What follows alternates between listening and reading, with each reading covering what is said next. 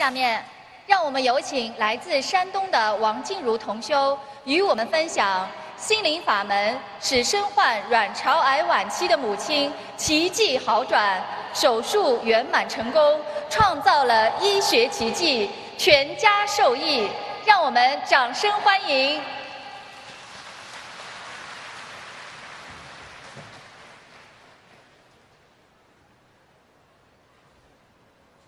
感恩大慈大悲观世音菩萨摩诃萨，感恩大慈大悲卢军红台长师傅，尊敬的各位佛友同修们，大家好！感恩大家能给我这个机会，分享一下跟随卢台长师傅学习心灵法门两年的感受和经历。我从小就相信观世音菩萨，有机会就去庙里拜菩萨，但是从来不知道什么是念经。更不知道什么是学佛，可能是机缘成熟了吧。我在二零一一年十月，通过同修姐姐认识了心灵法门，结缘了台长的法宝书籍。我非常喜欢台长的书，特别是一命二运三风水。当我第一天看到经文书时，里面的大悲咒、心经就能很流利地念出来了。几天下来就能够背出心经、准提神咒、往生咒和消灾吉祥神咒，而且越念经越开心。开始念经没几天的一个晚上，我梦见有位白衣菩萨对我说：“你妈妈病了，而且很严重。”梦中我跪在菩萨面前，问菩萨能否化解。菩萨很慈悲，他把我领到一张桌子面前，写下三个字：大悲咒。梦醒后，我回忆起妈妈最近总是说自己肚子痛，难道真的是得了很严重的病？在我的再三追问下，妈妈才说了实话，她得了卵巢癌晚期，是一种很重的病，肚子里面全是腹水，已经无法手术了。因为担心我刚生完孩子两个月影响哺乳，才一直隐瞒。在同修姐姐的帮助下，我赶紧请了佛台和小房子。并和妈妈一起学习礼佛、念功课、送小房子。渐渐的，妈妈可以自己做功课、念小房子了，并在观世音菩萨面前许愿、吃素、放生。就这样，在妈妈自己念经的同时，我也帮助她念了一百多张小房子。一个月后，奇迹出现了，妈妈去医院检查，腹腔的积水少了很多，癌细胞指标也降了下来，具备了手术的条件。复查的医生很吃惊，怎么也搞不明白指标会降得这么快。感恩大慈大悲观世音菩萨。由于妈妈情况严重，所以手术难以避免。在手术当天早上，妈妈从医院偷偷地跑回家，给观世音菩萨上香，求观世音菩萨保佑手术成功。手术前，医生告诉我们，这是一个很大的手术。医生并没有很大的把握。又害怕麻药会对妈妈产生影响，怕她不能马上清醒，所以让我们做好思想准备。妈妈在里面做手术，我在外面拼命帮她念了四个多小时，一百七十多遍的大悲咒。手术做完后，医生高兴地告诉我们，手术非常成功，手术前担心的所有问题一个也没有出现。谁能想到，妈妈一下手术台就非常的清醒。并告诉我们，他在手术台上一直在念大悲咒。妈妈没有很大的术后反应，精神状态很好，看不出是刚做了手术的样子。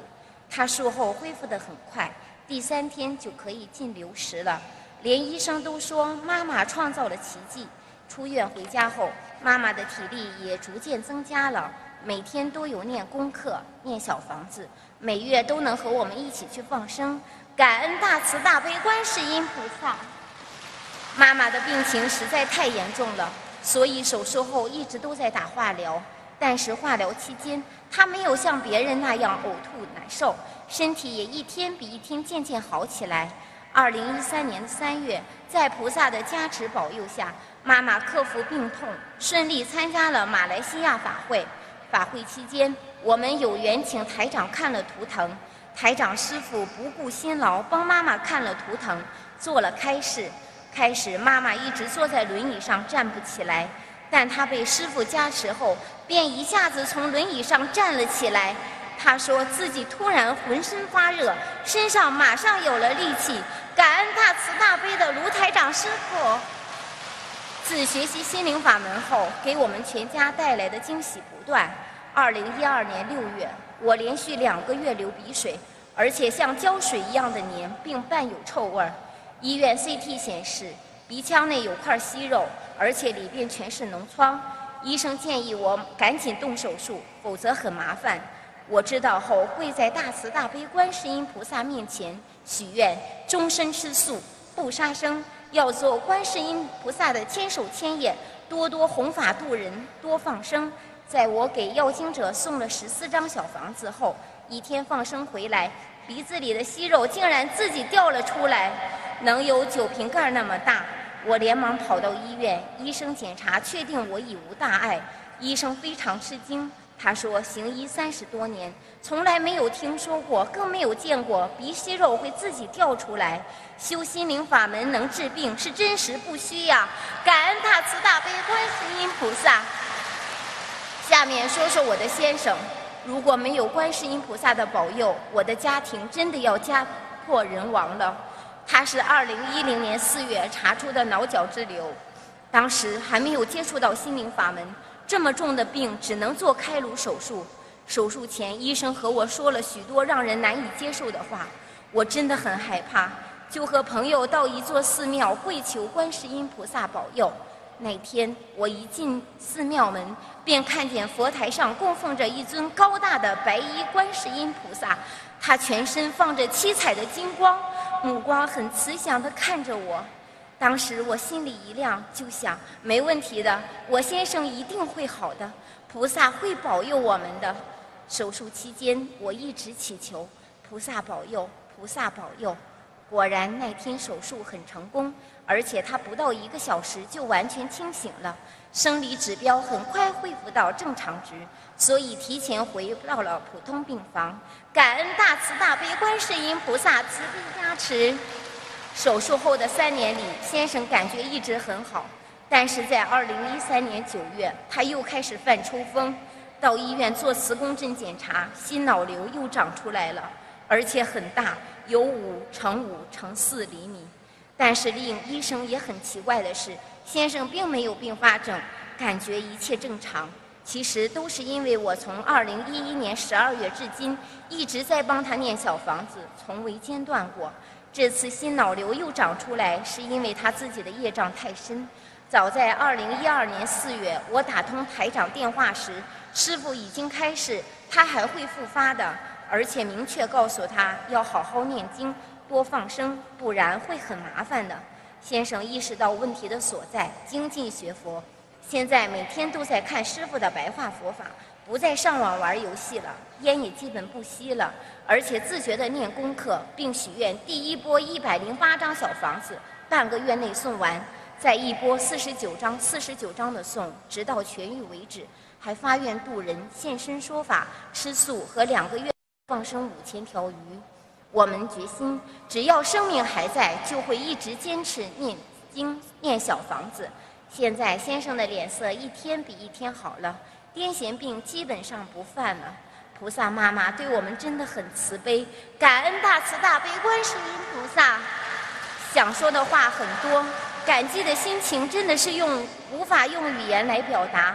我和我的家人能有今天，正是因为有了大慈大悲观世音菩萨和大慈大悲卢军宏台长师傅的救度，才改变了我们全家的命运，千言万语都说不尽。